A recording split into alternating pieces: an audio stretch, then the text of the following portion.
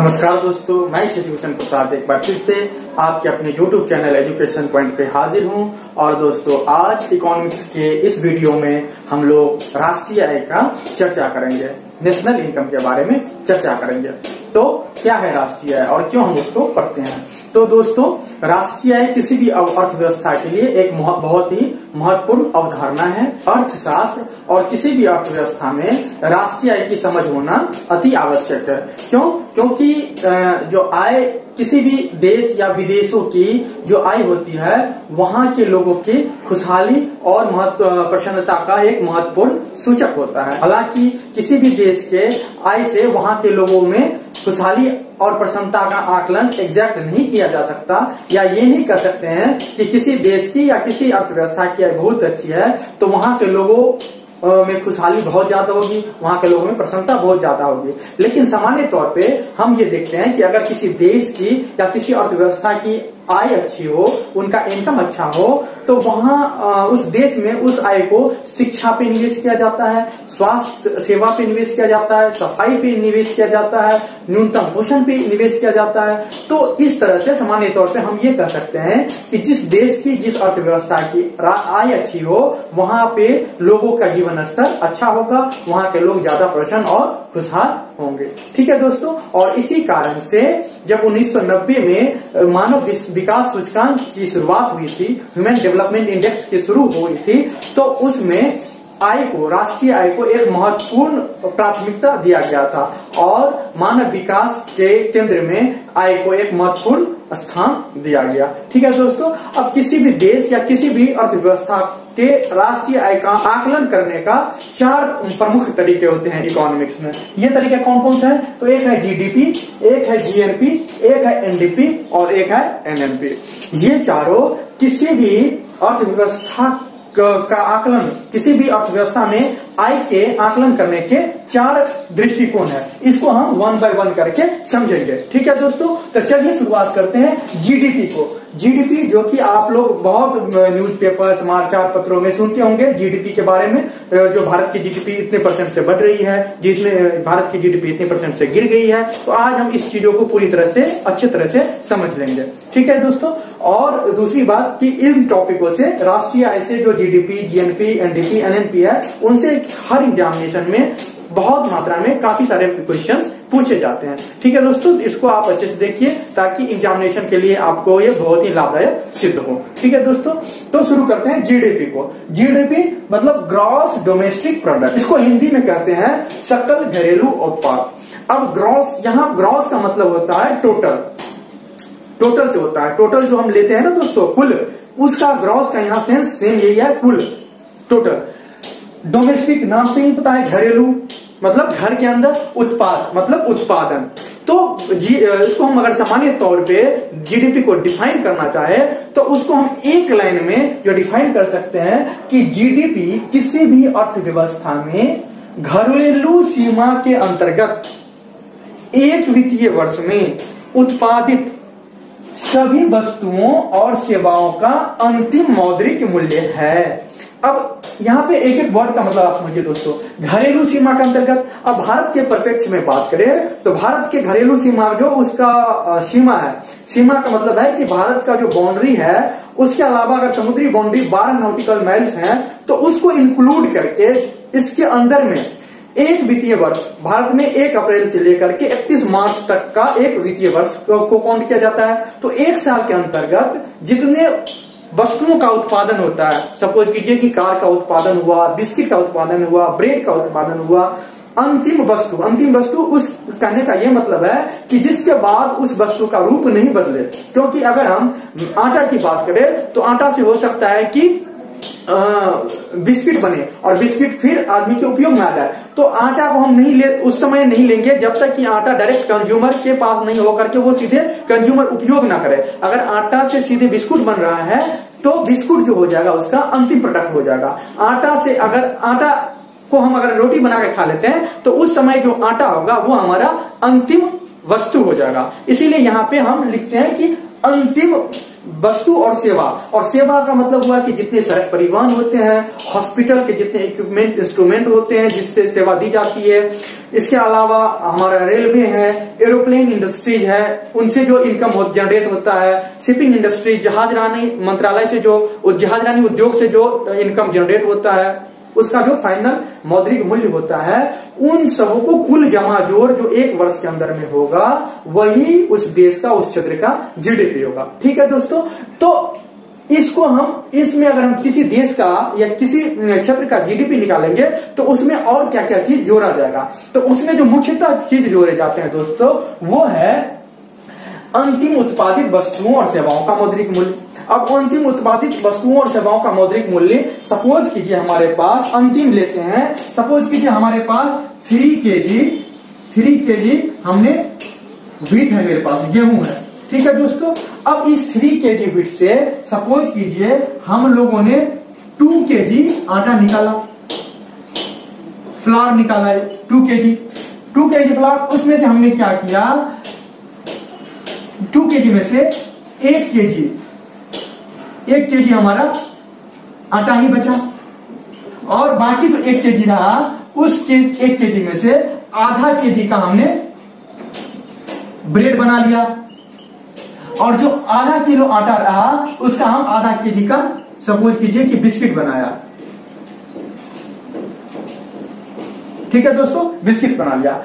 और बाकी इसमें से जो एक किलो बचा है, वो एक किलो का सपोज़ कीजिए हम लोग सूजी बनाया।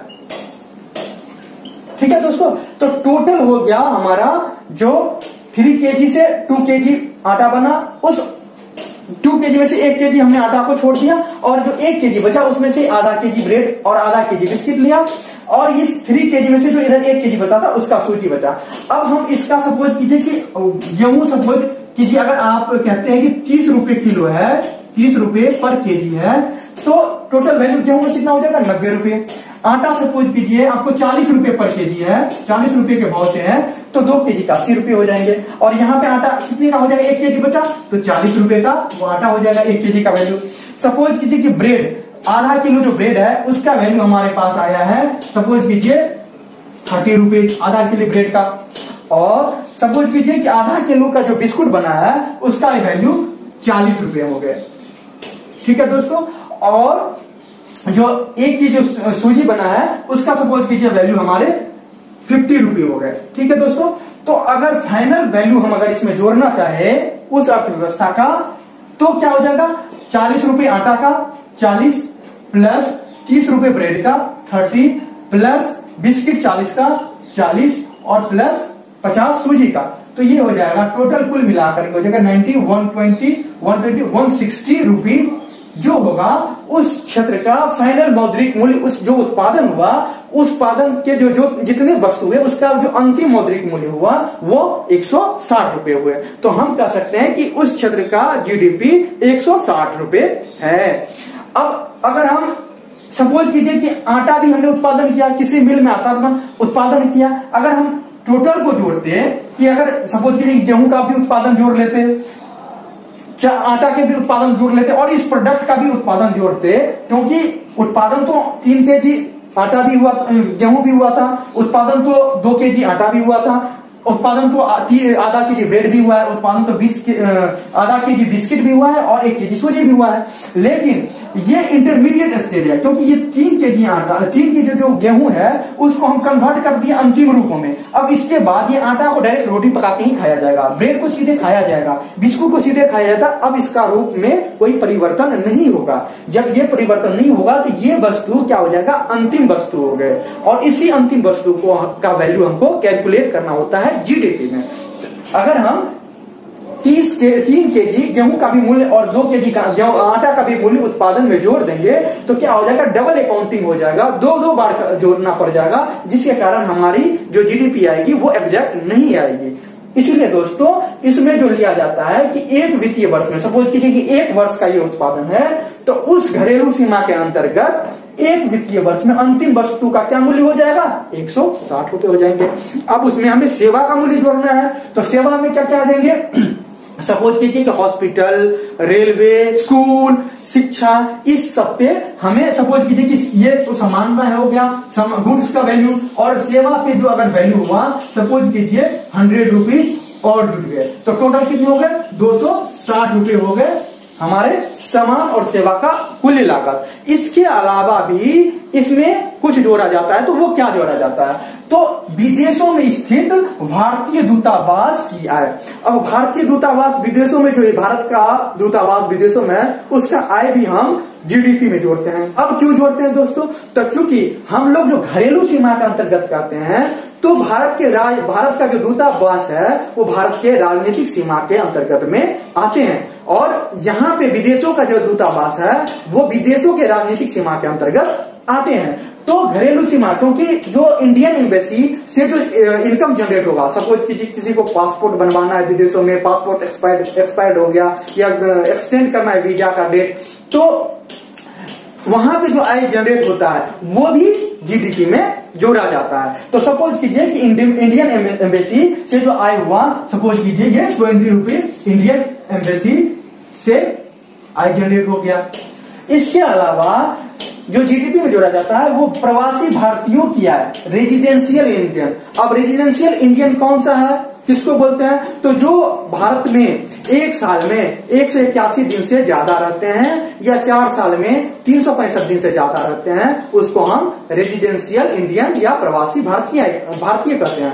अब वो अगर आर्थिक क्रिया में, आर्थिक गतिविधि में भारत में संलग्न है तो उसका जो आय होगा, वो भी भारत के अंदर में ही, भारत के घरेलू सीमा में ही हो रहा होगा। तो उसको भी हम इस जीडीपी में काउंट करेंगे दोस्तों? तो सपोज़ कीजिए कि प्रवासी भारतीयों की आय जो है, वो दस रुपए है एक साल के। ठीक है? एक वित्तीय वर्ष में दस रुपए रेजिडेंशियल इनकम की आय हो गई। उसके अलावे जो जहाज़ रानी और उड्डयन उद्योग है। सपोज़ कीजिए शिपिंग इंडस्ट्री है और एरोप्लेन इंडस्ट्री है। आप सपोज़ कीजिए कि कोई देश भारत, कोई जहाज़ भारत से माल लेकर के पाकिस्तान गया।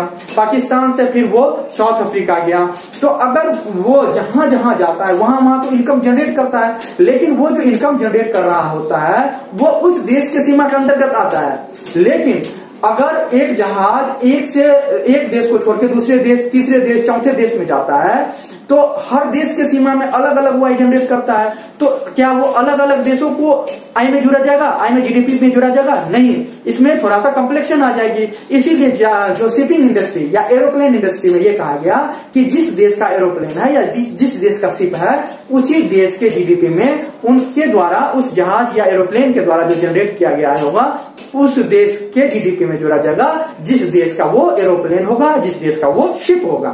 तो अगर भारत का कोई जहाज़ मान लेके पाकिस्तान जाता है, साउथ अफ्रीका जाता है, अगर और भी कोई देश जाता है तो उनके द्वारा जितने भी जनरेट किए गए, जो इनकम होगा, वो भी हमारे जीडीपी में जोड़े जाएँगे, उसको भी हम लोग अपने घरेलू सीमा के अंतर्गत का उत्पादन सेवा मानते हैं। उसी तरह से उड्डयन उद्योग, जैसे एरोप्लेन, एक देश से अमेरिका जाना है तो यहाँ से पहले लंदन जाएँगे, लंदन से फिर अमेरिका जाएँगे, और उसके द्वारा जो दोनों देशों में जो आय इनकम होगा उस प्लेन का, उसको भी हम अपने भारत के जीडीपी में जोड़ेंगे। तो सपोज़ कीजिए कि जहाज़ रानी और उड्डयन उद्योग से दस रुपए और जुड़ गए। तो कुल मिलाकर जो होगा, अगर हम 2020 की बात करें, साल 2019 और 20 की बात करें 19 और 20 की तो टोटल 300 रुपीज़ जो हो जाएँगे, वो यहाँ के जीडीपी हो जाएँगे दोस्तों। तो अब आप ये तो हम मैंने एक पर्टिकुलर एग्जांपल लेके समझाया जो जीडीपी हम लोग कैलकुलेट करते हैं। वो बहुत सारे baskets of goods and services को एक जगह लिया जाता है जिसमें एक काउंटिंग गवर्नमेंट के द्वारा किया जाता है कि इस इस वस्तु का एक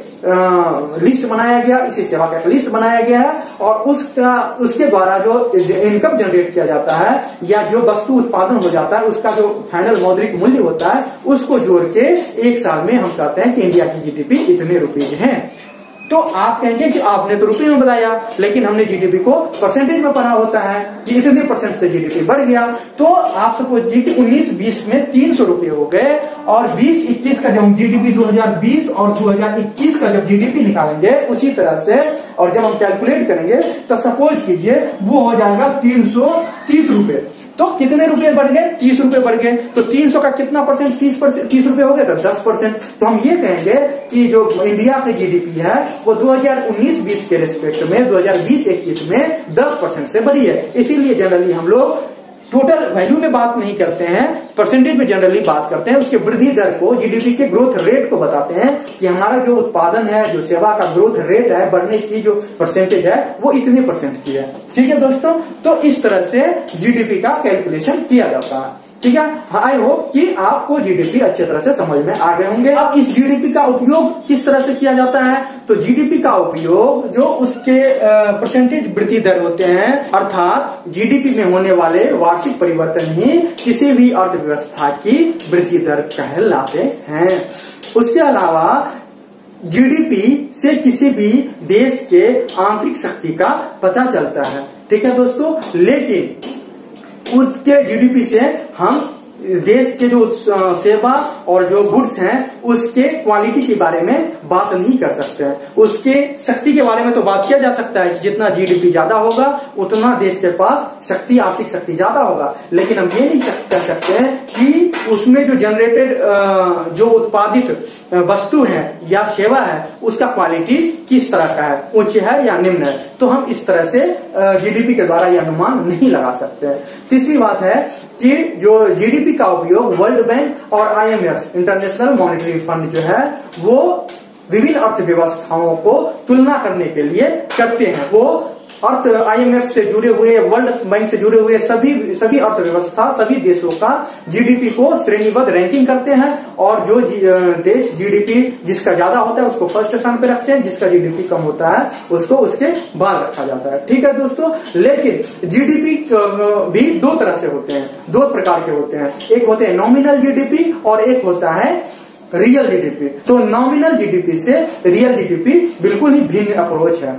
अब कैसे दोस्तों? तो अभी हमने जो निकाला है, जैसे सपोज़ कीजिए कि 2019-20 का जीडीपी हमने इंडिया का निकाला थ्री हंड्रेड तो वो हमने निकाला है जो हमारे उत्पादित सामान हुए। सपोज़ कीजिए कि आटा ब्रेड बिस्किट उसको हम मार्केट प्राइस पे अभी बाज़ार का जो मूल्य है, उस पर हमने निकाला। जो करेंट मूल्य है, उस पर निकाला। और उसके बाद उन बीस इक्कीस का जो निकालेंगे, वो भी उसी प्राइस पे अगर निकालते हैं तो उसमें क्या होगा कि सामानों पे महँगाई जो बढ़ रहा है, वो भी इंक्लूड होगा। ठीक है दोस्तों? तो इस जो हम नॉमिनल जीडीपी होता है, उसमें महँगाई इंक्लूड होता है। क्यों महँगाई इन्फ्लेशन इसमें इंक्लूड होता है? क्यों इंक्लूड होता है? तो क्योंकि उसका जो रेट जो जो भी रेट होता है उस टाइम में मार्केट में, उसी वैल्यू से उस सामान के मूल्य को हम कैलकुलेट करते हैं। लेकिन रियल जीडीपी में क्या होता है कि हम एक बेस ईयर मानते हैं। सपोज़ कीजिए कि अभी बेस ईयर 2017-18 रखा गया है, जो कि सेंट्रल स्टैटिकल ऑर्गेनाइजेशन सीएसओ जिसका स्थापना उन्नीस सौ इक्यावन में किया गया, उसने एक ईयर को फिक्स कर दिया। इससे पहले 2011 और 12 को बेस ईयर माना गया था और जितने वस्तु उत्पादन हो रहे थे, सपोज़ कीजिए कि आटा ब्रेड बिस्किट, उसका जो मूल्य जोड़ा जाता, वो 2011-12 से जोड़ा जाता। कि 11-12 में जो उसका प्राइस होगा, उसी के अनुसार से इसका वैल्यू इसकी लागत को कैलकुलेट किया जाता लेकिन सीएसओ पे ही जीडीपी निकालने की ज़िम्मेदारी होती है और वो हरेक पाँच, छह साल, सात साल में बेस ईयर को चेंज करते रहता है, क्योंकि महँगाई बहुत ज़्यादा बढ़ जाएगी तो रियल जीडीपी और नॉमिनल जीडीपी में बहुत ज़्यादा डिफरेंस हो जाएँगे। इसीलिए अभी जो करंट में सीएसओ जो है सेंट्रल स्टैटिकल ऑर्गेनाइजेशन जो करंट बेस ईयर रखा है, वो दो हज़ार है। तो अभी रियल जीडीपी में जो भी कैलकुलेशन किए जाएँगे वो 2017-18 के वैल्यू पे ही कैलकुलेट किया जाएगा। अब सपोज़ कीजिए कि 2017-18 का आटा का वैल्यू अगर तीस रुपए हो, तीस रुपए हो ब्रेड का वैल्यू सपोज़ कीजिए कि दस बीस रुपए हो, और बिस्किट का वैल्यू दस रुपए हो, और फिर सूजी का वैल्यू बीस रुपए हो तो आप फिर कैलकुलेट कर सकते हैं टोटल वैल्यू कि कितना होगा। तो तीस रुपए ये हो गए बीस रुपए हो गए पचास पचास दस साठ, और साठ और बीस अस्सी रुपए हो गए। यानी कि अगर हम रियल जीडीपी की बात करेंगे रियल जीडीपी की बात करेंगे तो क्या हो जाएगा दोस्तों? अस्सी रुपए हो जाएँगे। ठीक है दोस्तों? और जहाँ पे यहाँ पे एक सौ साठ रुपए हो रहे थे। अगर हम करेंट ईयर का मार्केट प्राइस से अगर हम कैलकुलेट कर रहे थे जीडीपी को तो 160 हो रहे थे। जबकि रियल जीडीपी में उसका वैल्यू 80 रुपए हो रहे हैं। ठीक है दोस्तों? तो एक्चुअली हमारा जो रियल जीडीपी है, वही मुख्यतः हमारे अर्थ, अर्थव्यवस्था को दर्शाता है। अर्थव्यवस्था में उचित उत्पादन को दर्शाता है। क्योंकि हो सके कि सपोज़ कीजिए एक एग्जांपल लेके मैं आपको बता रहा हूँ कि ये पेन है। ये पेन 2018 में 2019 में और 2020 में उत्पादन किया गया। अब इस सपोज़ कीजिए कि पाँच पेन 2018 में उत्पादन किया गया, छह पेन 2019 में उत्पादन किया और 2020 में सपोज़ कीजिए कि चार पेन उत्पादन किया गया। ठीक है दोस्तों? अब सपोज़ कीजिए कि 2019 में चार पेन उत्पादन किया गया 2020 में तीन पेन उत्पादन किया गया। अब सपोज़ कीजिए कि 2025 में इसका वैल्यू पच्चीस रुपए एक पेन का था। 2019 में पैंतीस रुपए हो गए, चालीस रुपए हो गए इस पेन का वैल्यू और 2020 में इस पेन का वैल्यू पचास रुपए हो गए। तो 2018 में अगर जीडीपी देखते हैं, हम नॉमिनल जीडीपी अगर उसको कैलकुलेट करेंगे तो इसका वैल्यू क्या आ जाएगा? एक सौ पच्चीस रुपए। दो हज़ार उन्नीस में एक सौ और 2020 में एक सौ पचास कि हम देख रहे हैं कि जो जीडीपी है 2018 के बाद 125 के बाद 160 हुआ तो उसमें वृद्धि हुआ है। और 160 के बाद 150 हुआ है। इसमें जीडीपी में गिरावट आई है।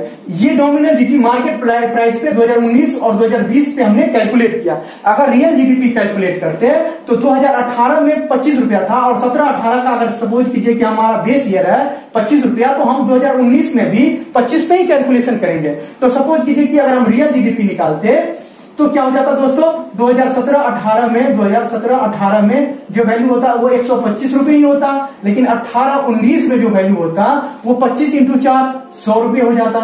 और 2020 में तीन रुपए तीन पेन का उत्पादन किया तो 25 इंटू तीन, पचहत्तर रुपए हो जाता। यानी कि हम देख रहे हैं कि जो 2017 18 में 125 था 18 19 में एक सौ रुपए हो गए, और 2020 19 20 में ये हो गए पचहत्तर रुपए यानी कि रियल जीडीपी में प्राइस हमेशा वैल्यू हमेशा गिरते जा रहा है और वो इसीलिए हो रहा है क्योंकि यहाँ पे हमारा वैल्यू देखिए, आप प्रोडक्शन तो कम होते जा रहा है।